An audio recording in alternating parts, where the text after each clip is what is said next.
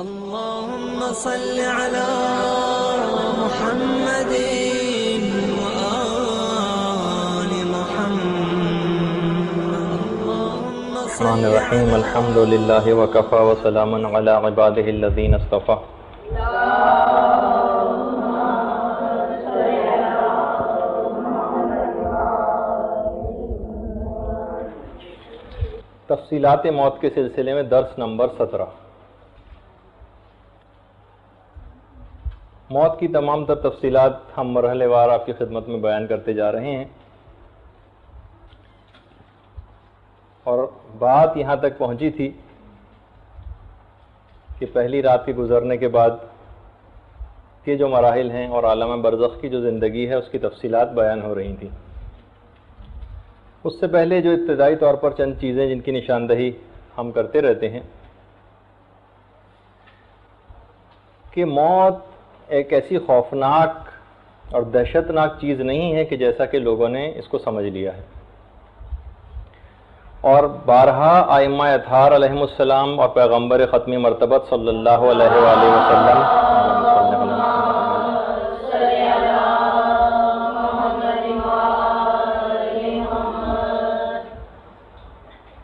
इस मौत को एक बेहतरीन तोहफ़ा करार देते थे। पैगंबर इस्लाम फरमाते थे कि मौत मेरे नज़दीक एक ऐसे ठंडे शरबत की मानंद है जो सख्त तरीन गर्मी में कोई शख्स पीता है। तो उसके लिए कितनी खुशगवार और एक ठंडक वाली चीज़ उसको महसूस होती। हमारे आ, दूसरे इमाम इमाम हसन सलाम फरमाते हैं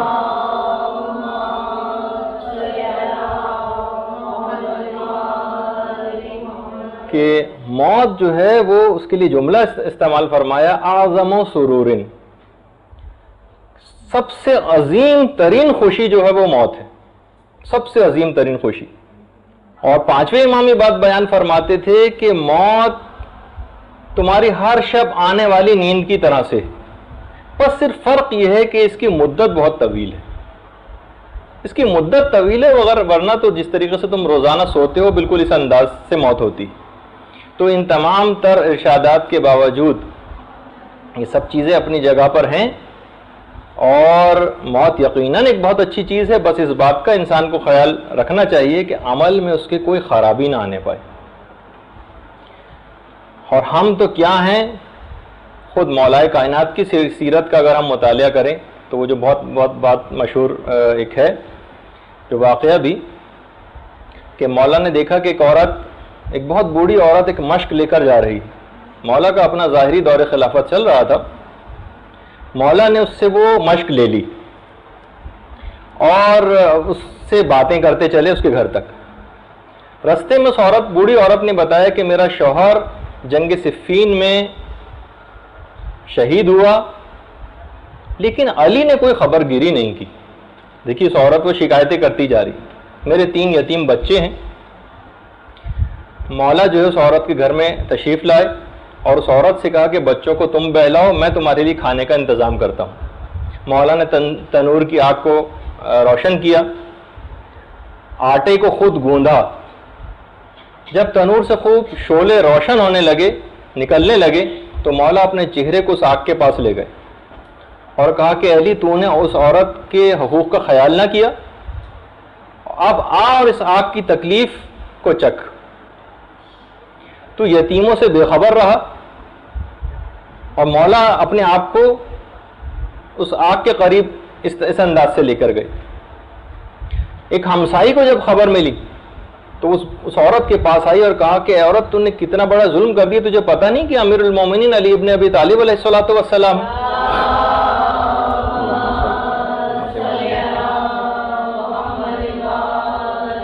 बूढ़ी ने माजरत की और कहा कि मौला मुझको पता नहीं था, मैं आपसे माजरत चाहती हूँ।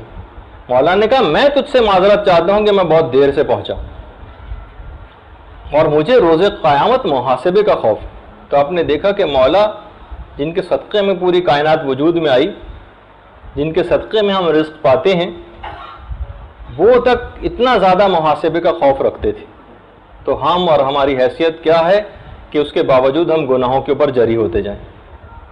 बहुत सारे मौत के सिलसिले में मसाइल भी हम उठाते हैं। आज थोड़ा सा हम ज़रा एक उस तफसील में जो हम तरतीब वार बयान कर रहे हैं, उससे पहले जो चंद एक सवाल मौत के सिलसिले में जो बहसें हैं ओलमा की, उनको भी आपके सामने पेश करते रहते हैं गाहे बगाहे। तो एक चीज़ और भी है। ये है थोड़ी सी ज़रा बुलंद लेवल की चीज़ जो ओलमा ने बहुत से मबाइस उठाए हैं। शायद मुझे यहाँ पर बयान भी नहीं करनी चाहिए थी, लेकिन कोई अर्ज़ नहीं बाज़ात सुनने में। एक बहस है। क्या मौत इख्तियारी हो सकती है? खुदकुशी की बात नहीं कर रहे? कि जब चाहे इंसान मर जाए। शेख मोहम्मद हकीम हैद जी तेहरान के बड़े बर्जस्ता उलमा में से गुजरे मुश्तदीन मदरसा मोनेरिया में दर्स भी देते थे। ये इस बात के सख्ती से ज़ाहिर के आलिम थे। इस सिलसिले में दो नज़रियात रहे। कुछ उलमा कहते हैं कि हाँ मौत इख्तियारी चीज़ भी हो सकती। है शेख मोहम्मद हकीम हैद जी जो खुद मुश्तदी लेवल के थे वो इस नज़रिए के ख़िलाफ़ थे। मुनकर थे इस नज़रिए कहते थे, नहीं, मेरे पास इस नज़रिए के रद्द के लिए दलाइल मौजूद है। नमाज़ ईशा की ताकीबात के पास, के बाद जो है वो बैठे हुए थे कि एक देहाती इनसे मिलने के लिए आया। कहा कि, क्या आप मौत अख्तियारी के कायल हैं? कहने लगे, हरगिज नहीं। कहा कि, क्यों? कहा कि, असल में मेरा मुतालिया है, मेरे पास दलाइल है, बिला वजह तो नहीं मैंने ऐसे ऐसा नज़रिया कायम कर लिया कहा कि क्या आप वाकई कबूल नहीं करते कि ये चीज़ इख्तियारी हो सकती है? कहा, हरगिज कबूल नहीं कर सकता। देहाती ने पाँव कबले की तरफ़ फैलाए इन इन राजन कहा और इंतकाल कर गया। आतुल्ला हैद जी जो थे, सख्त परेशान हो गए। सब दीनी और जो मदरसे के तालब इन थे, सारे के सारे जमा हो गए। हर लिहाज से इतमान करके देख लिया, वो बूढ़ा वाकई इंतकाल कर चुका था। अब उनके भी समझ में नहीं आ रहा किसी को क्या जवाब देंगे कि कौन इनके चलता हुआ एक शख्स आया, किस तरीके से आकर यहाँ आकर मर गया। खैर, बहरहाल अब हुआ ये कि ताबूत वगैरह तैयार हुआ, गसल कफन वगैरह दे दिया गया। जब दफन के लिए लेके चले तो अचानक से वो बूढ़ा कलमा पढ़ते हुए उठ बैठा और कहा कि अब इस बात के कायल हो गए कि मौत इख्तियारी हो सकती। आका हकीम हैद जी ने कहा, यकीनन मैं अब इस बात का कायल हो गया हूँ। बूढ़े ने कहा कि फ़कत कायल होना ही काफ़ी नहीं और ना दर्स पढ़ना काफ़ी है, बल्कि आधी रात को इबादत खुदा भी करनी ज़रूरी। यानी ये मुकाम और मरतबा इन तमाम चीज़ों से हासिल हो सकता। उसके बाद से हकीम हैद जी ने बाकायदा आधी रात के बाद, यानी हम बाज़ात देखिए उन लोगों के लिए भी बड़ी तंबी वाली बात है कि जो आम तौर पर उलूम की तरफ़ मुतवजह हो जाते हैं, वो फिर जिस्मानी इबादतों से गफलत करने लगते हैं। और कहते हैं कि भाई हम तो इल्म हासिल कर रहे हैं, इसके अंदर अपनी अपने आप को लगाया हुआ है तो हमें इतनी ज़रूरत नहीं है कि ये ज़ाहरी इबादत करने की, नमाज़ें पढ़ने की, दुआएँ पढ़ने की, तिलावत कुरान की, जो कि बिल्कुल गलत ख्याल उसके बाद आका हकीम हैद जी ने एक वसीयतनामा भी लिखा था और अपने लोगों से मुखातिब करके कहा था कि मैं तुमसे इस बात का तकाजा करता हूँ कि देखो मेरे मरने के बाद बिल्कुल आहो फरियाद ना करना, बल्कि खुश होना कि मैं इस दुनियावी कैद खाने से निजात पा गया। और अपनी मंजिल की तरफ़ में चल, चल चला गया। अगर तुम फिर भी गमगीन हो तो वो भी तुम भी ये बात याद रख लो कि तुम भी जल्दी तो शागिर्दों ने हुजरा खोल के देखा तो कबला रुख लेटे हुए थे और रहलत कर चुके। थे शेख अब्दुल करीम हायरी। शेख अब्दुल करीम हायरी हमारे उन बड़े उलमा में से हैं कि जिन्होंने बाकायदा ये जो हौजा इलम कौम है ना ये शेख अब्दुल करीम हायरी ने खुद कायम किया था। शेख अब्दुल करीम हायरी। इनके जो वालिद थे, ये भी बड़ी हैरान कन आपको बात लगेगी कि इतने ऐसे प्रोफेशन के जो हमारे दिमाग में तस्वुर होता है इनके वालिद एक कसाई थे, शेख अब्दुल करीम हायरी की, जिन्होंने हौसा इल्म कौम की बाकायदा बुनियाद रखी। इनके यहाँ कोई औलाद नहीं होती थी, इनकी बीवी भी बूढ़ी हो चुकी थी खुद भी बूढ़े हो गए थे। इन्होंने अपनी बीवी की ही इजाज़त से आरजी निकाह किया था, तलब औलाद के लिए। और फिर कभी अपनी उस जौजा से मुलाकात के लिए जाते थे तो उस जौजा ने इस बात को छुपाया हुआ था कि उसकी कोई छोटी बेटी भी है। जब ये घर में आते थे तो वो उसको बाहर भेज दिया करती थी। एक दफ़ा इन्होंने घर से बाहर निकलते हुए देख लिया, और मालूम चला कि ये उस औरत की बेटी है जो बाहर सर्दी में खड़ी हुई ठिठर रही थी। फ़ौरन उसी वक्त रोते हुए वापस आए, उस औरत को मुद्दत बख्शी और उसके बाद घर आकर खूब रोए के परवरदिगारा, मैंने तेरी तरफ़ से निगाह हटाकर मखलूक की तरफ़ निगाह की थी और मेरी इस वजह से नन्ही बच्ची को सर्दी की शिद्दत में ठिठरना पड़ा। मैं तुझी से लौ लगाता हूँ, तू ही कोई इस सिलसिले में हल, औलाद के सिलसिले में मेरी पैदा कर दे। परवरदिगार आलम ने उनके इस तकवा और परहेजगारी के नतीजे में उनकी बूढ़ी बीवी से ही शेख अब्दुल करीम हायरी पैदा हुए और उसके बाद वो शख्स इतना बड़ा एक मर्जे बना कि जिसने बाकायदा हौज इलमिया कुम की बुनियाद रखी। अच्छा अब आप ये खुद ये देख लें कि ये एक कसाई की मारिफत थी। हमारे दिमाग में तो यहाँ के जो कसाई होते हैं वो हैं, लेकिन जो दीनदार माशरे का जो अगर कोई शख्स है तो देखिए उसने कितने बड़े मुकाम को हासिल किया खाली आम लोगों की मारिफत की बात नहीं हो रही, जानवरों तक की मारिफत ऐसी है कि जैसे हमने पानी की मारिफत पिछली दफ़ा बयान की थी। इसी तरीके से जानवरों की भी मारिफत, कि जिस तरीके से इमाम हुसैन के जुलझना की जो बात बयान की जाती है कि उसकी क्या मारिफत थी, इसी तरीके से सैयद सज्जाद के नाक़े के मुतालिक भी ये मिलता है कि इतना इमाम की मारिफत रखता था कि इमाम की शहादत के बाद ना उसने कतन कुछ खाया था, ना कुछ पिया था, बल्कि कब्र इमाम पर आया था चौथे इमाम की, और सर को ज़मीन पर मार मार के उसने अपनी जान दे दी थी। जिस तरीके से जुलझना ने अपने पाँव के ज़रिए कितने सारे यजीदियों को वासिल जहन्नम किया था। अच्छा अब देखिए, इंसान अपनी बस मारिफत बढ़ाए, अपनी यकीन को बढ़ाए, और उसके बाद फिर उसके लिए मौत वगैरह कोई चीज़ हकीकत नहीं रखी। आइम्मा के तमाम असाब अपनी मौत के तमाम तर तफसीत से आगा थे। लेकिन उसके बावजूद भी बाकायदा उसी दरख्त को पानी दिया करते थे जिस पर उनको सूली दी जानी थी। देखिए जो चार असाब हैं ना इमाम के। इनको, बल्कि पैगंबर इस्लाम के इन चारों को अरकान अरबा कहा जाता है। चार, यानी ईमान के चार रुकन हैं। उनमें एक एक रुकन सलमान है, एक मकदाद है, एक अबू ज़र हैं और एक अम्मार यासिर। ये चार अफराद। इनको अरकान अरबा कहा जाता है। पाँचवें इमाम बात बयान फरमाते हैं अपने एक सहाबी से कि अगर तुम किसी ऐसे शख्स को देखना चाहते हो जिसे ना कभी शक हुआ हो और ना कोई खलल वाक़ हुआ हो तो तुम्हें चाहिए कि तुम मकदाद को देख लो।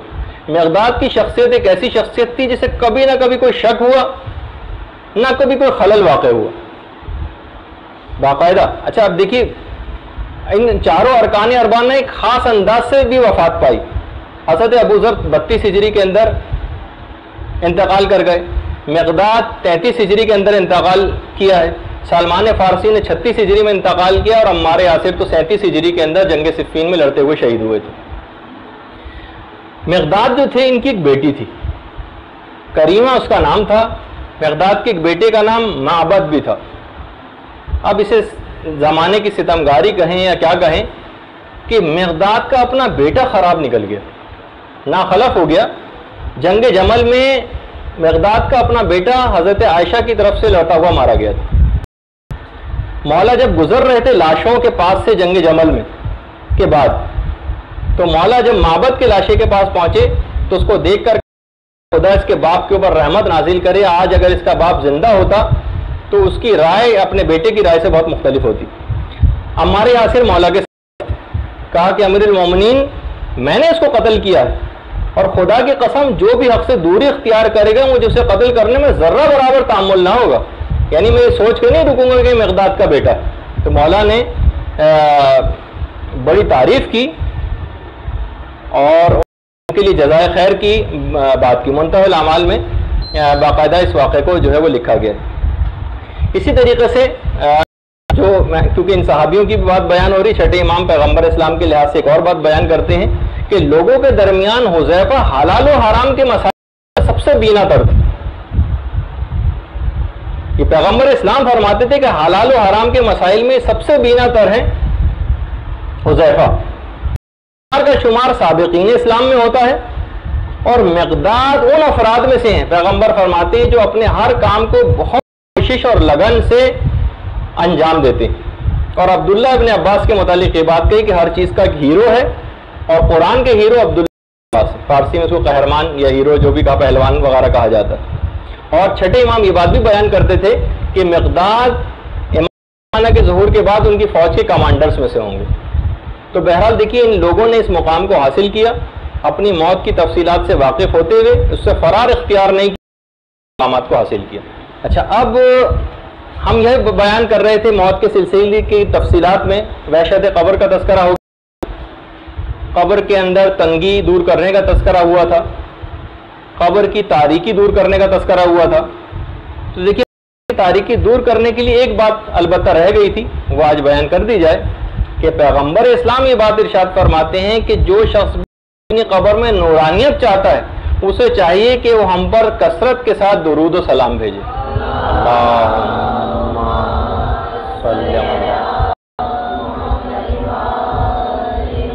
अच्छा इससे पहले कि अब हम अगले मराहल के ऊपर जाएँ कि आलम बरज़ख में क्या क्या उसके साथ होता है। इससे पहले, क्योंकि पहली रात गुजर गई है, उसकी तफसीलात हम सारी तफसील से बयान कर चुके पिछली जो सोलहवीं नशस्त की थी, उसमें भी काफ़ी बातें आई थी। अब अगले दिन तमाम रिश्तेदार अपने मरहूम की कब्र के ऊपर जाते हैं ज़ियारत कब्र के लिए। तो थोड़ा सा इसका तस्करा कि अगले दिन उन उन जाने वालों की क्या ज़िम्मेदारी है? बस हम वो ज़िम्मेदारी करेंगे थोड़ी देर में और उसके बाद फिर उसकी तफसीलात में चले जाएँगे।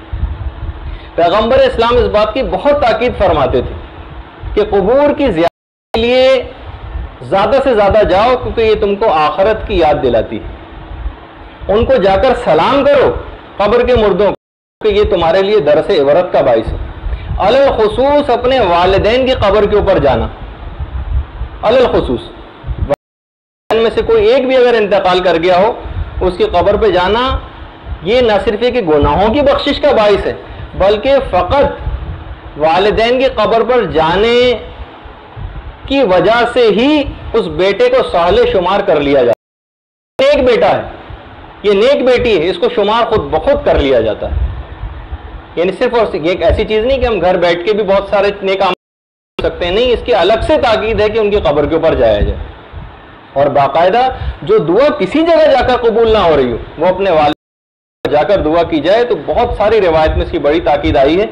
और कहा यह गया है कि वालदेन की कब्र पर जाने की वजह से कैसी दुआ क्यों ना हो वो ज़रूर कबूल अगर वालदेन माशाल्लाह हयात हो तो अपने दादा दादी नाना नानी किसी और रिश्तेदार की कब्र पे वहाँ जाके वो भी सब आ, भी वार होते हैं। अच्छा छठे इमाम ये बात भी बयान करते हैं। फरमाते हैं कि जो शख्स भी हमसे नेकी पर कादिर ना हो, उसे चाहिए कि वो हमारे मुहब्बों और मवालियों के साथ नेकी से पेश आए। उसे बिल्कुल वही सवाब मिलेगा जो हमारे साथ नेकी का सवाब अच्छा जो हम फिर फरमाते छठे इमाम जो हमारी जियारत की कुदरत ना रखता हो, बहुत से लोगों के वसाइल नहीं होते जियारत पे जाने के लिए, जो हमारी जियारत पे कुदरत ना रखता हो, उसे चाहिए कि वो हमारे नेक और मुहब्बी मुहब्बों और मवालियों की जियारत करे। हमसे मोहब्बत करने वालों की जियारत करे। हमारी जियारत का खुद ब खुद उसको सवाब हासिल हो जाएगा। तो अगर कोई शख्स आइम्मा के रोज़ों की जियारत के रखता है तो उसे चाहिए कि साल मोमिन के कबूर की जियारत करे। उसे वही सवाब मिलेगा, इमाम फरमाते हैं, जो कि हमारे रोज़े की जियारत का सवाब और यहाँ तक ये बात बयान की गई है कि इमाम हुसैन सलाम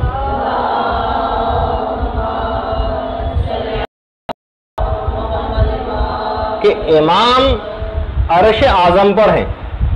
लेकिन उनकी नज़र मुबारक अपनी मजलिस शरीक लोगों और उनकी कब्र की जियारत करने वालों के ऊपर।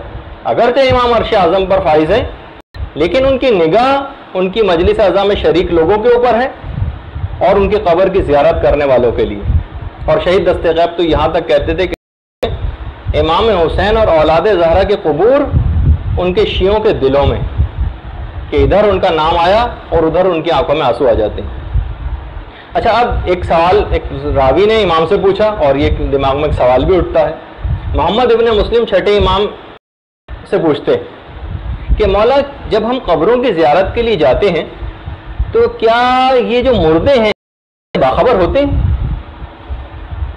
क्या उनको पता चलता है कि हम उनकी जियारत के लिए आए हुए हैं? इमाम ने फरमाया, ई वल्लाही। हाँ खुदा की कसम, वो इस बात, इन्नहुम लियालमून बिकुम, वो इस बात से आगाह होते हैं कि तुम उनसे मिलने के लिए आए हो। वह यफराहूना बिकुम, और वो इस बात से इंतहाई खुशी और फरहत महसूस करते हैं कि तुम उनसे मिलने आए हो। वह यस्तान सोना इलेकुम, और वो इस बात से मानूस होकर खुशी हासिल करते हैं। तुमसे मानूस होकर खुशी हासिल करते हैं कि तुम आए हो। वसाइल में बाकायदा ये रिवायत और खुद एक रिवायत तो वसीयत करता हूँ और तुम ये बात पल्ले बाँध लो, खुदा तुमको इसका फ़ायदा देगा। वो क्या है? कि कब्रिस्तान की हमसायगी इख्तियार करो। यानी दूसरे अल्फाज में कि कब्रिस्तान अक्सर जाया करो। आखरत को तुम इस बहाने याद रखोगे, दिन में भी चले जाया करो, लेकिन ये बात याद रखो सर रात को कब्रिस्तान ना जाया करना। मुस्तदरकुल वसाइल के अंदर रिवायत है। इस बिना पर अक्सर मोमिन की जियारत, कबूर की जियारत को रात के वक्त मकरू करार दिया।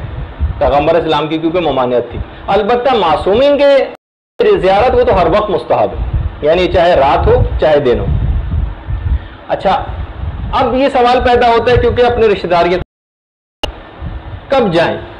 देखिए, वैसे तो हर वक्त जा सकते हैं। यानी किसी भी दिन चले जाएँ, लेकिन खास के दिन और जुमेरात के दिन ज़रा ताकीद आई एक ताकीद जुमे के दिन की भी आई है, लेकिन पीर और जुमेरात की ताकीद भी है। अच्छा जो वक्त कौन सा होना चाहिए जाने के लिए? जुमेरात के दिन तो असर का वक्त होना चाहिए। असर का जो वक्त फजीलत है, वो होना चाहिए जो आपके दिमाग में होगा कि असर का वक्त फजीलत कब शुरू हो और हफ़्ते के दिन भी ताकीद आई है और हफ़्ते के दिन सुबह के वक्त जाने की ताकीद आई बाकायदा उर्वतुलवस्ा के अंदर यह मसला हुआ है कि हफ़्ते के दिन सुबह को जाए। अच्छा कौन लोग जाएँ? हमारी फिका के मुताबिक मर्द और औरतों के लिए कब्रस्तान जाना मुस्तहब है, दोनों के लिए। अलबत्ता औरतों में बस दो एहतियातें हैं। एक तो ये है कि वो बेसब्री का मुजाहरा ना करें और सब्र तहमुल का अगर मुजाहरा करें तो फिर औरतों के लिए जाने की इजाज़त है और दूसरी चीज़ ये कि अपने पर्दे और इफ़त का मुकम्मल ख्याल रखते हुए जाएँ। अगर वहाँ जाके बेसब्री का मुजाहरा कर रही हैं और इस किस्म के कलमात कहे जा रहे हैं तो फिर औरतों के लिए मुनासिब नहीं कि वहाँ जाएँ। लेकिन बहरहाल, जिस तरीके से वहावियों वगैरह का नज़रिया है, हमारे फ़िका का ये नज़रिया नज़रिया नहीं है, औरतों के लिए भी कब्रस्तान साहब है और मर्दों के लिए भी। अच्छा कब्रस्तान जाकर करें क्या? तो सबसे पहली तो चीज़ ये है कि कब्रस्तान में जाकर मुर्दों को सलाम करें। सलाम करने के भी कई तरीके रिवायात में बयान हुए असलाम दियार मिनलमिन ये एक सलाम है जो कि वहाँ जाकर मुर्दों को किया जाता है। सलाम हो इस सरजमीन के रहने वाले मोमिन पर। खुदा तुमसे पहले आने वालों और तुम्हारे बाद आने वालों पर भी रहमत नाजिल करे। और इन हम भी जल्द तुम्हारे पास पहुँचने वाले हैं। यानी जुमला जाकर उनको, मुर्दों को मुखातिब करके कहे। ये भी उर्वा के अंदर बाकायदा ये पूरा सलाम लिखा हुआ है कि मुर्दों को किस अंदाज में जाकर सलाम करें। अच्छा जब नज़दीक पहुँच जाएँ तो उस वक्त भी क्या पोजीशन आपकी होनी चाहिए? इसकी भी खास बात बताई गई। कब्र के करीब बैठना मुस्तहब है। खड़े होना भी अलबत्ता जायज़ है। बैठना मुस्तहब है, खड़े होना जायज़ है। अच्छा बेहतर यह है और मुस्तक कबला रुख होकर कब्र की जियारत की जाए। अच्छा हाथ को कब्र के ऊपर रखा जाए और जितनी भी पढ़ने वाली चीज़ें वो कब्र के ऊपर हाथ रखकर पढ़ी जाए, इसकी बड़ी ताकीद आई क्या पढ़ें? अब मुतालिक भी बहुत सारी बातें हैं। एक तो ये कि सूर्य कदर को सात मरतबा पढ़ना बहुत ही ताकीद रखता है। सूर्य इन्ना हो फ़ी लतिल कदर। इमामी बात बयान फरमाते हैं कि जो मोमिन भी कब्र की जियारत के वक्त सात मरतबा इस सूर्य को पढ़ेगा, परवरदिगार उस मुर्दे को और जियारत में आने, जियारत के लिए आने वाले दोनों अफराद को बख्श देगा। सात मरतबा जो शख्स भी सूर्य कदर की तिलावत कर देगा। अच्छा दूसरी चीज़ कदर के बाद आयतुल कुर्सी पढ़ना, इसका बहुत सवाब है। अच्छा अगर कोई शख्स आयतुल कुर्सी किसी भी मुर्दे के लिए पढ़ दे तो चाहे वो मुर्दा किसी जगह दफन क्यों ना हो, उसकी कब्र से एक नूर साते होगा, और परवरदिगार आलम उस कब्र के मुर्दे को ये बात बताएगा कि आयतल कुर्सी का हदिया तुम्हारे पास फला मोमिन ने भेजा। और उससे इसने खुद भी बहुत फ़ायदा उठाया। और उसको एक, उसके एवज एक बहुत ज़बरदस्त किस्म का एक सवाब भी मिलेगा। और बल्कि यहाँ तक कहा जाता है कि पढ़ने वाले को हर हर बदले जो कि पिछहत्तर हरूफ हैं। खुदा उस एक फरिश्ते को खल्क करेगा हर हर्फ के बदले और जो कि क़्यामत तक तस्बी करता रहेगा, परवरदिगार के उसको पढ़ने का सवाब उस आयतल कुर्सी के पढ़ने वाले कारी को मिलेगा। अच्छा ये जितनी भी चीज़ें हैं, जैसे कि अभी मैं बयान कर भी रहा हूँ सूर्य कदर तो सात मरतबा पढ़ने की बड़ी ताकीद आई है, लेकिन उसके अलावा जितनी चीज़ें उनको तीन तीन दफ़ा पढ़ने की ताकीद। तो आयतल कुर्सी तीन दफ़ा, सूर्य अलहम तीन दफ़ा, इसके अलावा सूर्य ये जो माउजतैन रबिन नास और फलक, इनको भी तीन तीन दफ़ा पढ़ने की ताकीद है। सूरह यासीन को तीन दफ़ा पढ़ने की ताकीद है। सूरह मुल्क को तीन दफ़ा पढ़ने की ताकीद है और कुछ मफाती के अंदर भी कुछ दुआएँ। अलग खसूस और दिमाग में रहे कि वैसे तो तमाम रिश्तेदारों और अहबाब को जाने की ताकीद है मोमिन की कबूर के ऊपर। खसूस, जो सबसे करीबी तरीन दोस्तों को कब्र के ऊपर ज़रूर जाए। रिवायत में है पैगंबर इस्लाम की पैगंबर फरमाते हैं कि सबसे मुर्दे को अपने करीब तरीन दोस्त की मौजूदगी से होता है कब्र पर। तो बहरहाल ये एक चीज़ दिमाग में रहे ताकि करीबी दोस्त इस बात से गाफिल ना हो। अच्छा अब हम उसका तस्करा करेंगे कि उन आमाल का जिससे बरजख की ज़िंदगी में एक अजाब है। बरजख की ज़िंदगी या अजाब कब्र। तो देखिए, ये बात भी पिछली दफ़ा बयान हुई थी कि बरजख में जो का या रंजो अलम का जो एहसास है कि जिसमें मिसाली पर वाक़ होगा, रूह मुजरत पर वाक़ नहीं होगा। यानी सिर्फ़ होगा जिसमें मिसाली के ऊपर होगा और रूह क्योंकि उसी के अंदर शामिल है तो उसको भी महसूस होगा। ये जो बरजखी हयात है ना, बरजखी हयात, ये बिल्कुल एक हकीकत है और एक वाक़ एक ज़िंदगी है। आसान ज़िंदा ही वहाँ जाकर होता है। मोमिन की अरवा तो नजफ अशरफ की जो वादी है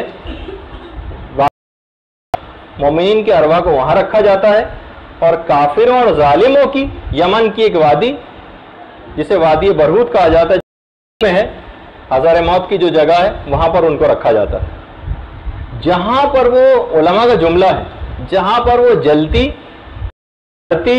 उबलती और तड़पती रहती काफिर और जालिमों की अरवा वादी बरहूद में। अच्छा इधर मरा, और उधर फ़ौरन ही वो आलम बरजख के अंदर चला जाता हबीब नजार आले फिरौन जिसको कहा जाता है सूर्य यासीन की जो छब्बीसवीं आयत है ना, जैसे ही हबीब नजार को शहीद कुरान की आयत है, कीलत खोलिल जन्ना, वो फ़ौरन जन्नत में दाखिल हो गया। उससे कहा गया कि तुम जन्नत में दाखिल हो जाओ। कौला, अब हबीब नजार ने कहा, या लई था कौमी या आलमून काश मेरी कौम जान लेती कि मेरे परवरदिगार ने मेरे साथ कितना किया। बेमा गफर अली रब्बी परवरदिगार ने मुझे बख्श दिया है और मुझे अपने मुकर्रम तरीन बंदों में करार दिया यहाँ पे भी उलमा ने कहा कि ये जो, कि जैसे ही उसका इंतकाल हुआ, कीलत खोलिल जन्ना कुरान की आयत है उससे कहा गया कि फ़ौरन दाखिल हो जाओ। उलमा ने कहा कि ये बरजखी जन्नत की बात हो रही क्योंकि वो जो असल जो जन्नत और दोजक मिलेगी, वो असल में आलम आखिर ये उसका एक हिस्सा और एक पार्ट के तौर पर जो चीज़ मिलती है, ये बरजखी ज़िंदगी की बात हो रही जिस तरीके से हज़रत नू की कौम की पिछली दफ़ा मैंने मिसाल पेश की थी, जो सूर्य नू की जो पच्चीसवीं आयत भी आपके सामने पेश की थी कि उगरे को फत खोलू नारा, इधर वो कौम गर्क हुई पानी में नू की, उधर और फ़ौरन आग के अंदर दाखिल हो गए बिला फासला फाक लफ्ज बिला फासला आतिश जहन्नुम के अंदर दाखिल हो गए तमाम उलमा ने यहाँ पर भी कही कि यहाँ पे भी आतिश जहन्नुम में दाखिले से मुराद, वो बरजखी अजाब है और आतिश है। उससे ये बात मुराद ये वो वाली जन्नत और दोजख नहीं है जो आखरत में मिलेगी, बल्कि उसी का एक पार्ट और हिस्से के तौर पर जो बरजख के अंदर मखसूस है, उसकी तरफ़ इस बात का इशारा। इसी तरीके से सूर्य ताहा की एक सौ चौबीसवीं आयत है। वमन आ रजा अन जिक्री फ़ैन लहू मीशतन वन का व नहशर यौमल क़ियामत आमा। बाकायदा आयत है, परवरदिगार फरमाता है, वमन आ रजा अन जिक्री। जो कोई भी मेरी याद से रूगर्दानी करेगा फ़ाइन न लहू मीशतन गन का उसका जीना बहुत जीना होगा और क़यामत के दिन अंधा उठाया जाएगा। अच्छा चौथे इमाम से भी रिवायत है कि यहाँ पे भी सख्त और दुशवार तरीन ज़िंदगी माईशतन गन का ये जो सख्त तंगी वाली ज़िंदगी उसका मुकद्दर होगी, जो कुरान ने कहा। चौथे इमाम फरमाते हैं कि सख्त और तंग और दुशवार ज़िंदगी से मुराद बरजख है। जो भी खुदा की याद से रूगरदानी करेगा, उसका जीना बहुत तंगी का जीना होगा। और ये इस वजह से भी उलमा ने बात कही कि हम देखते हैं कि बहुत सारे काफिर और जालिम ऐसे हैं जो दुनिया में बेहतरीन ज़िंदगी गुजारते हैं। इसका मतलब ये कि यहाँ तंगी का जीना से यहाँ वाली ज़िंदगी मुराद नहीं है, बल्कि कब्र की और बरजख की ज़िंदगी से मुराद हमारे मौलाए कायनात ने भी बाकायदा ख़त भेजा था अहले मिस्र को। उसमें भी ये बात कही गई थी कि मीशत जंक ये मीशत जनका से मुराद खुदा ने अपने दुश्मन को, को डराया और इससे मुराद अजाब कब्र। काफिरों के ऊपर खुदा मौला फरमाते हैं कि निन्यानवे किस्म के सांपों को मुसलत करेगा जो उसका गोश्त नोचते रहेंगे और उसकी हड्डियों को रेजा रेजा करेंगे। और क़यामत तक यही होता रहेगा। अमाली में शेख सदूक ने इस रिवायत को लिखा है कि क़यामत तक यही होता रहेगा। तो बहरहाल आपने देखा कि बहुत सारे ये चीज़ें ऐसी हैं और बहुत सारे अजाब ऐसे हैं कि जो इस अंदाज से दिए जाएँगे। इसके अलावा से एक आदमी से एक मैं आयत और पढ़ूँ, जो सूर्य मरियम की बासठवीं आयत नेक लोगों की रोजी सुबह शाम जन्नत में मुकर्र है। अच्छा अब बाकायदा अली इबन इब्राहिम कुम्मी, इन्होंने अपनी तफसीर लिखी है, जो तफसीर कुम्मी के नाम से बहुत मशहूर है। उन्होंने आयम मासूमिन की बहुत सारी रिवायात से इस्तेमाल किया है। और फरमाया कि इससे मुराद भी आलम बरजख है। ये देखिए क्या है कि हमने नेक बंदों की रोजी सुबह शाम जन्नत में मुकर की। कहा कि इससे मुराद भी बरजख की ज़िंदगी है, क्योंकि जन्नत जो असल जो हमारी ज़िंदगी होगी, जो कयामत के बाद वाली जो ज़िंदगी है, वो उसमें उस जन्नत में सुबह शाम का कोई तस्वुर नहीं। यहाँ पर है कि सुबह शाम उनकी रोजी जन्नत में मुकर है तो यहाँ भी इस जन्नत से मुराद बरजखी जन्नत है। अच्छा और भी बहुत सारी बातें इसके अंदर फिर बयान करना है। अच्छा अब ये देखिए कि जितने भी इस वक्त जालिमीन बनो उमैया, इनको भी बरजख की ज़िंदगी के अंदर एक बड़े अजीब व गरीब अजाब दिए जा रहे हैं। बहुत से तो जानवरों की शक्ल में मस्क हो गए। छठे इमाम अपने वालिद के हवाले से बयान करते हैं कि मेरे वालिद यानी पाँचवें इमाम, खाने काबा के पास खड़े हुए एक शख्स से बातें कर रहे थे। अचानक से मेरे वालिद ने देखा कि एक जानवर है। अच्छा रिवायतों उसका नाम, जो मैंने पढ़ा, सुसमार जानवर कोई। अब ये मुझे मालूम नहीं कि अब कौन सा जानवर उसको क्या कहा जाएगा। जो नाम है सुसमार। ये हरकत कर रहा है। मुझे पता नहीं, आप में से किसी को अगर पता हो तो वो बयान कीजिएगा मुझसे बाद में। तो उन्होंने उस खड़े हुए शख्स से कहा कि तुमको पता है कि ये कौन है? उस जानवर की तरफ़ इशारा किया। उसने कहा, नहीं, मौला, मुझे तो नहीं पता। इमाम ने, छठे इमाम ने फरमाया कि ये, पाँचवें इमाम ने, कि ये आलम बरजख का एक गोशा। ये बरजख का एक गोशा है, बनो उमैया का एक शख्स है। ये इस जानवर की सूरत में मस्क हो गया। सुसमार जानवर की शक्ल में मस्क हो गए। और जो अब्दुल मलिक इबन मरवान है, पांचवा जो उमवी खलीफा गुजरा है, इमाम फरमाते हैं, उसकी सूरत को अगर उसकी औलाद देख ले तो उसकी समझ नहीं आए कि उसके साथ क्या करे। उस, ऐसी शक्ल उसकी हो गई। और एक और जुमला जो रिवायत में अब्दुल मलिक इबन मरवान के सिलसिले में इमाम ने कहा, मेरी तो खुद समझ में नहीं आ रहा कि मैं इसको आपको कैसे बयान करूँ, कि वाकई अकल में नहीं आती कि इसके मायने क्या हैं। इमाम ने कहा, अब्दुल मलिक इबन इबन मरवान को दरख्त के मुँह से कफन दिया गया। अच्छा इसके बाद हाकिम शाम, उसकी अपनी बरजखी ज़िंदगी, जितने भी दुश्मनान अहले बैत थे, इनकी बरजखी ज़िंदगी को अगर देखें छठे इमाम खुद बयान फरमाते हैं कि दफ़ा मैं अपने वालिद पाँचवें इमाम के साथ सफ़र कर रहा था तो एक मुकाम असफ़ान, जो मक्के के करीब एक जगह है, हम जब सवारी के ऊपर सवार होने लगे तो अचानक से तमाम जानवर दुबक गए। छठे इमाम ने देखा कि एक मर्द है जिसको जंजीरों से बांधा गया और एक दूसरा है जो उसको खींच रहा वो शख्स छठे इमाम के पास आता है जो जंजीरों में जकड़ा हुआ आके कहने लगा कि मुझे पानी दे दो। मेरे वालिद से कहने लगा कि मुझे पानी दे दो। जंजीर जो शख्स खींच रहा था उसकी, कहा कि मौला, इसको पानी ना दे। खुदा ने भी इसको पानी से महरूम रखा हुआ है। तो मैंने अपने वालिद से पूछा कि, वालिद गिरामी शख्स कौन है? तो मेरे वालिद पाँचवें इमाम ने बात बयान फरमाई कि इसने हमारे जद अली से जंग की थी। इस वजह से इस पर बरजक का ही अजाब नाजिल हो रहा है, हाकिम शाम के मुताले बिहार के अंदर भी पूरा ये वाक़ है। अच्छा खुद अगर मजीद ालिमों की तरफ़ जाए हम बरजकी ज़िंदगी उनकी कैसी गुजरी तो उसमें एक तो इबन ज़ियाद मुख्तार, जिनके अभी आपने तकरीर के अंदर मौलाना मोहतरम की मसाइब में जिनका तस्करा सुना, छियासठ हिजरी और सड़सठ, इकसठ हिजरी में वाक़ करबला हुआ है। छियासठ और सड़सठ हिजरी में मुख्तार ने कायम किया था। इबन ज़ियाद का जब सर काट कर मुख्तार के पास लाया गया तो मुख्तार उस वक्त खाना खा रहे थे। अल्हम्दुलिल्लाह, खुदा का शुक्र अदा किया कि इबन ज़ियाद ने भी के पास भी इमाम का सर उस वक्त लाया गया था जब इबन ज़ियाद खाना खा रहा था। और मेरे पास भी उस वक्त लाया गया कि जब खाना खा रहा, जब मैं खाना खा रहा हूँ। मुख्तार ने देखा कि एक सांप है जो इब्ने जियाद के मुँह से निकल निकल, निकलता है, कान में दाखिल होता है। कान से निकलता है, नाक के अंदर दाखिल होता है। और बार बार उसके साथ ऐसा हो रहा है। सब लोग खड़े थे, इंतहाई दहशतजदा हो गए सारे लोग। मुख्तार ने अपना जूता उठाया और ज़ोर से उसके चेहरे के ऊपर मारा। इब्ने जियाद के और कहा कि इस जूते को पाक करो, एक काफिर और नजिस शख्स के चेहरे के ऊपर मारा गया। उसके बाद मुख्तार ने इबन जियाद का इस सर मोहम्मद हनफिया को भिजवा दिया और मोहम्मद हनफिया ने फिर इसके बाद इस सर को हमारे चौथे इमाम इमाम जैनुल आबिदीन सलाम की खिदमत में भेजा था।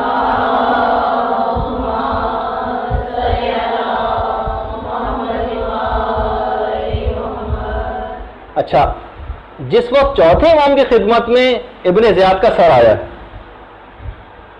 तो इमाम भी उस वक्त खाना खा रहे थे। इमाम ने फरमाया कि मेरे वालिद का सर इबन जियाद के पास उस वक्त लाएगा जब वो खाना खा रहा था तो मैंने परवरदिगार आलम से दुआ की थी कि परवरदिगार मुझे उस वक्त तक मौत ना देना। जब तक कि इब्ने जियाद का सर उस वक्त मेरे पास ना आए जब मैं खाना खा रहा हूँ। और खुदा ने मेरी अल्हम्दुलिल्लाह इस दुआ को कबूल किया। शेख अब्बास कुम्मी ने मुंतहल अमाल में इस वाक़े को लिखने के बाद एक बात कही। कहा कि जब ये सांप बार बार इब्ने जियाद के मुँह से निकल के नाक में दाखिल हो रहा था, नाक से निकल के कान में दाखिल हो रहा था। तो जितने लोग वहाँ पर मौजूद थे, सब बार बार कहते थे कज्जात कज्जात अरे देखो, सांप फिर आया, फिर सांप फिर आया।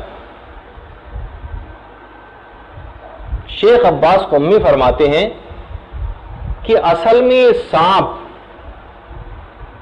वो था कि जब इब्ने जियाद के सामने मौला का सर पेश किया गया था तो जिस जिस छड़ी से उसने मौला के दंदाने मुबारक के साथ बेदबी की थी, वही छड़ी आलम बरजक में एक सांप की शक्ल इख्तियार कर गई।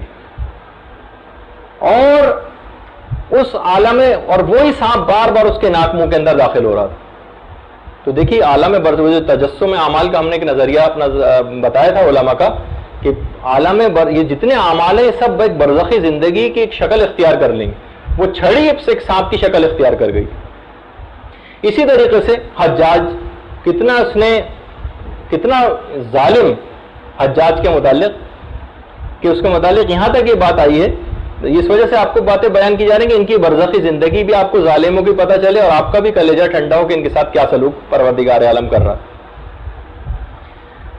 अच्छा सईद इब्ने जुबैर, ये चौथे इमाम के सहाबी थे मुफसर कुरान, हज्जाज से इनका बड़ा सख्त तेज अल्फाज के अंदर हज्जाज से इनका एक मुकालमा हुआ था। हज्जाज ने इनकी गर्दन मारने का हुक्म दे दिया। चौरानवे साल के थे सईद इब्ने जुबैर 94 ईयर्स की। सन पचानवे हिजरी का यह वाक़ इनको जब शहीद करने के लिए ले जा रहे थे तो अब देखिए, सईद इब्ने जुबैर के आखिरी अल्फाज क्या थे? परवर दिगारा मेरे बाद हज्जाज को किसी पर मुसलत ना करना। अच्छा देखिए, इससे भी है कि अपनी तो शहादत की आमादगी वैसी ज़ाहिर रखी, वरना ये भी दुआ कर सकते थे, परवरदिगार मुझे बचा ले। नहीं, मेरे बाद किसी पर मुसलत ना करना। पंद्रह रोज के बाद ही हज्जाज, सईद इब्ने जुबैर के इंतकाल के बाद हज्जाज पंद्रह रोज के बाद ही एक मोहलक तरीन बीमारी के अंदर गिरफ़्तार हो गया। और किसी भी सूरत, किसी भी सूरत उसको मौत नहीं आ रही थी। बहरहाल बड़ी मुश्किल से एड़ियाँ रगड़ते रगड़ते उसको मौत आई, लेकिन उससे पहले बार बार एक जुमला कहता था, मेरे साथ शहीद इब्ने जुबैर का क्या काम? मेरे साथ शहीद इब्ने जुबैर का क्या काम? मौत की भीख मांग रहा था और मौत नहीं आ रही थी। बड़ी एड़ियाँ रगड़ने के बाद मौत आई और वासिल जहन्नुम हुआ। उमर, हज़रत उमर इब्ने अब्दुल अज़ीज़ फरमाते हैं कि मैंने ख्वाब में हज्जाज को एक इंतहाई बदबूदार और मुताफिन सूरत के अंदर देखा। मैंने उससे पूछा कि तुम्हारे साथ ही क्या सलूक हुआ है? कहा कि हर कत्ल के बदले जो मैंने किसी मोमिन को कत्ल किया था, मुझे एक दफ़ा यहाँ पर कत्ल किया गया। लेकिन सईद इब्ने जुबैर के कत्ल के बदले मुझे जगह बरजख में सत्तर मरतबा कत्ल किया गया।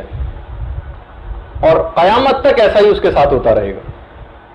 इबन मुलजिम, मौला कायनात का जो जो जालिम जिसने मौला को शहीद किया था, इबन रका बाकायदा रिवायत करते हैं कि मस्जिद हराम के अंदर बैठे हुए थे कि हमने देखा कि मुकाम इब्राहिम के पास लोगों का बहुत ज़्यादा रश लगा हुआ। और एक ईसाई राहिब है जो वहाँ पर खड़ा हुआ और अपने इस्लाम लाने का वाक़ बयान कर रहा वजह बयान कर रहा है कि मैं क्यों मुसलमान हूँ? कहने लगा कि मैं एक दफ़ा सौम्या एक जगह है, वहाँ पर गया हुआ था। तो अचानक से बिल्कुल वीरान जगह थी। मैंने देखा कि बहुत बड़ा सा बाज आया और उसने बाज ने आकर बहुत ही बड़ा जाइंट साइज़ एक बाज आया, उसने आकर कै की। उस कै के अंदर एक चौथाई इंसान बाहर निकला और फिर दोबारा अंदर चला गया। फिर उसने फिर दोबारा कै की, वो फिर बाहर आया, फिर अंदर चला गया कि चौथी कै में वो पूरा आदमी बाहर निकल के गिर गया। अचानक से मैंने देखा कि शिकारी बाज आया बहुत बड़ा, और उसने चोंचे मार मार कर उसको हलाक कर दिया। फिर वो उसको उड़ाकर ले गया, फिर दोबारा ऐसे ही हुआ, फिर वो आया उस तरह से फिर कह की फिर बाहर निकला, फिर उससे इस तरह से मारा गया। कह रहे उसको देखकर वो राहिब कहता है कि मेरे रोंगटे खड़े हो गए।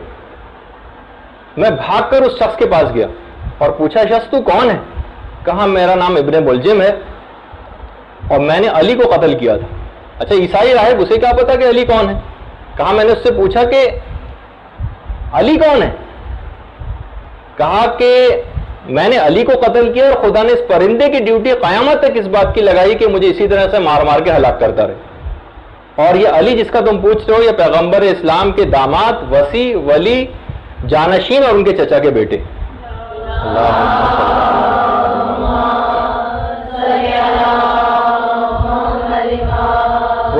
कहता है, राहिब कि ये वाक़ जब मैंने देखा तो जाकर फिर मैंने तहकीक की और फिर उसके बाद मैंने इस्लाम लाया। फिर हज के मौके पर मुकामी इब्राहिम के पास खड़े होकर अपने इस्लाम लाने का वाक़ बयान किया। कुतुब रावंदी ने अलखराइज में इस वाक़े को लिखा और बिहार बिहारनवार के अंदर अलामा मजलिसी। अच्छा बाकायदा और ालिमीन को अगर हम देखें, बाकायदा अलामा इबन असाकिर, उन्होंने भी लिखा है कि एक शख्स था जो बहुत ही दुश्मनी अहल बैत में इतना बड़ा हुआ था कि इसने इमाम हसन की कबर पर एक निजासत आके गिराई थी। कह रहे हैं कि हमने खुद देखा, यानी जो उस जमाने के लोग थे, कि वो शख्स पागल हो गया, दीवाना हो गया और कुत्तों की तरीके से भौंकता फिरता था। यहाँ तक कि वो वासिल जहन्नुम हुआ और उसके बाद एक तवील अरसे तक हमने उसके कब्र से कुत्ते के भौंकने की आवाज़ें सुनते रहे। तो ये इन सब, देखिए कि जितने कत्ल हुसैन के अंदर और खुद आयमा के कत्ल के अंदर जो लोग थे और जो ालिमीन थे, जो उनसे दुश्मनी करने वाले थे, इनके ऊपर अजाब बरजकी किस अंदाज से नाजिल हुआ? अच्छा खुद अब्दुल्ला इबन कसीर छठे इमाम के जो सहाबी थे फरमाते हैं कि हम एक दफ़ा मदीने से मक्के जा रहे थे छठे इमाम के साथ। जब हम मुकाम असफान से गुजरे इतफाक से वही जहाँ पे माविया वाला वाक़ पेश आया था। जब हम मुकाम असफान के आ, के पास पहुँचे तो हमने देखा कि बहुत अजीब व गरीब किस्म के पहाड़ है सिया रंग के पहाड़। हम सख्त इंतहाई वहशत जदा हुए। छठे इमाम के पास आए कि मौला इस वहशत ना की क्या वजह है? ये कहाँ पर आ गए? इमाम ने कहा तुमको पता नहीं कि यहाँ पर कत्ल हुसैन में शरीक लोगों के ऊपर अजाब किया जाता है इस जगह पर। और इसके नीचे गसलैन मैल और खून का जो अजाब है वो है। सदीद जो बदबूदार और गंदा पानी, जो कुरान की आयात भी है जिस सिलसिले में। और हमीम, जो जला देने वाला पानी है, वो उसके नीचे ही बहता है। और उन कातिलों और मुनाफिकों के ऊपर ये अजाब मुसलसल होता रहेगा। उनकी फरियादें यहाँ पर बुलंद हो रही हैं। और मैं इस वक्त भी अपने जद के कातिलों पर इस दर्रे में होने वाले अजाब को होते हुए देख रहा हूँ। लियालुल अखबार के अंदर बाकायदा इस रिवायत को लिखा गया।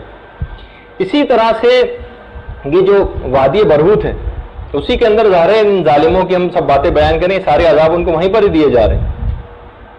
एक शख्स आया इमाम के पास, पाँचवें इमाम के पास। इमाम ने पूछा अराबी तुम कहाँ से आ रहे हो?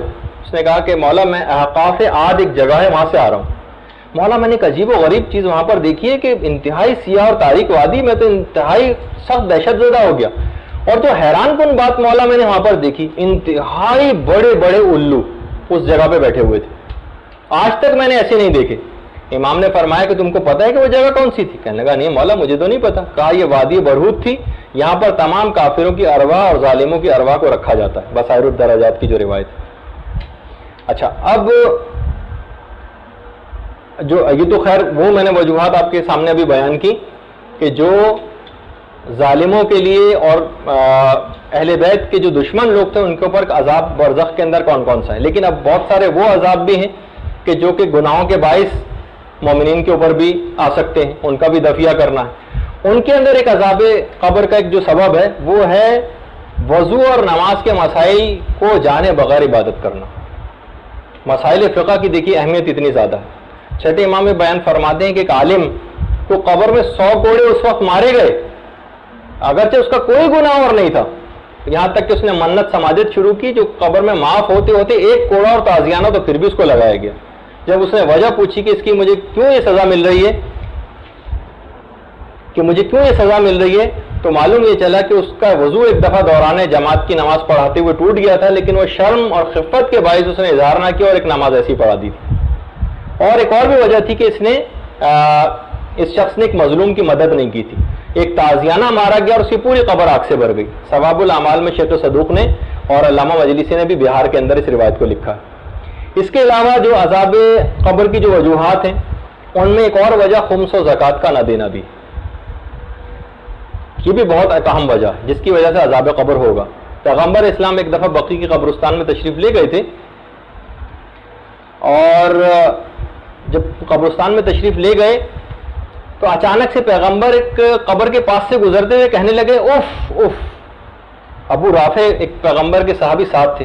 कहा कि, मौला, क्या हमसे कोई गलती हो गई जो आप ये कह रहे हैं? पैगंबर ने कहा, नहीं। असल में इस कब्र जिसके करीब से हम गुजर रहे हैं, इसके ऊपर एक अजाब दिया जा रहा है। क्योंकि ये शख्स, इसको मैंने जक़ात की वसूली के लिए एक जगह पर भेजा था। इसने एक जेरा, जक़ात की एक जेरा देने में खयानत की। वही जेरा आग की बना दी गई है, उसको पहना दी गई। तो वो तमाम वो पैसे जिसको अभी हम बचा के रख रहे हैं, जिसके ऊपर हम खुम्स नहीं दे रहे हैं, मसाइल को ना जानने की वजह से भी, और वैसे भी बहुत बहुत सी चीज़ों को हम डिले करते रहते हैं, लेकिन उन चीज़ों के ऊपर खुम्स नहीं दे रहे हैं। ज़क़़त, जिन चीज़ों के ऊपर अगर वाजिब एक शहरी लोगों के ऊपर तो उस अंदाज की ज़क़़त नहीं होती, लेकिन बहरहाल फिर भी ख़ास तौर पर अपने मालियात का इस अंदाज से हिसाब रखना कि कोई चीज़ ऐसी आपका जहरा में से वाजिब ना होने पाए जो आपके ज़िम्मे रह जाए। कि वही चीज़ आग की बनाकर आपको पहना दी जाएगी। खुदा हम सबको इस चीज़ से महफूज रखे। फिर उसके बाद एक और भी वजह अच्छा एक वाक़ एक और भी बाकायदा जो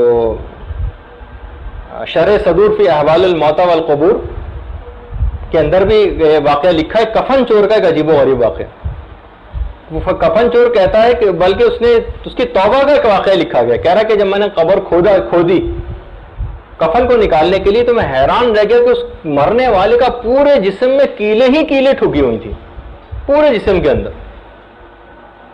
और मैंने उसके सर को भी देखा, उसकी खोपड़ी में पिघला हुआ शीशा भरा हुआ था।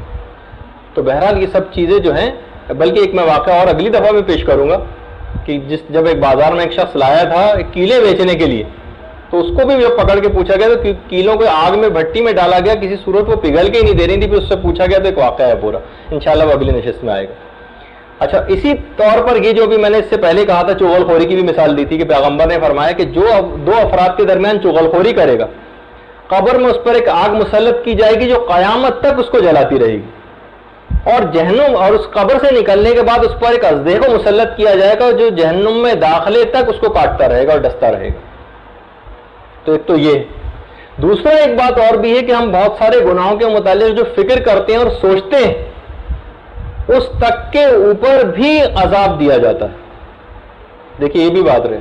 हज़रत अबू हमजा सोमाली, इमाम मोहम्मद बाकर वसलाम से रिवायत करते हैं।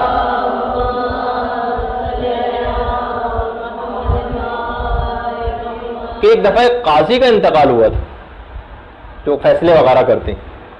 उसने वसीयत की थी कि जब मैं मर जाऊँ तो मेरी बीवी गुसल और कफन दे। लोगों को इसकी इत्तला बाद में देना। और फिर उसके बाद खैर जब उसका इंतकाल हुआ तो उसकी बीवी ने गसल दिया, कफन दिया। अब जब दफनाने से पहले आखिरी दीदार के लिए उसका चेहरा खोला तो उसकी बीवी ने देखा और सख्त दहशत जदा हो गई। शौहर की नाक के पास एक कीड़ा चल रहा था जो कैंची की तरह से उसको काटता जा रहा था। इंतहाई सख्त दहशत जदा हो गई। ख्वाब में पहली रात जब दफन के बाद बीवी ने ख्वाब देखा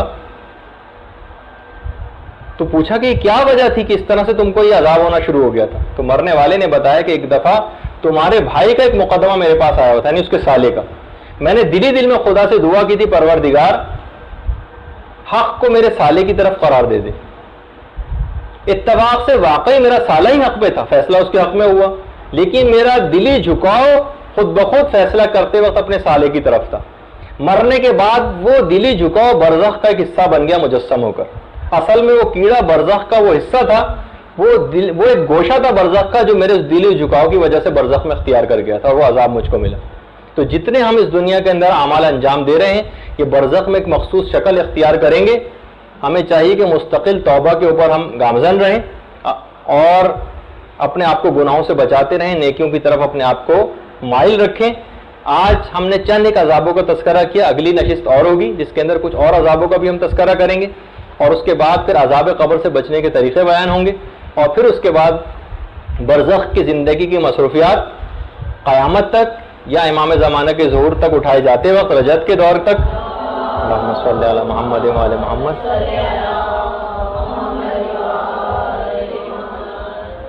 वो हम बयान करेंगे और इंशाल्लाह उसके बाद फिर क़यामत की तफसीलात शुरू होंगी आज सत्रह नशस्तें हो गई हमारी उम्मीद ये है कि तीन नशस्तों के अंदर अंदर हम इस मौजू को मुकम्मल करके बीसवीं या इक्कीसवीं नशस्त से हम क़यामत की तफसीलात को शुरू कर देंगे सवाल आपके आज फिर बहुत ज़्यादा आ गए हैं इनशाला इनके अगली दफ़ा जवाब दे दिए जाएँगे आज मैं थकावट काफ़ी महसूस कर रहा हूँ दो लेक्चर हो गए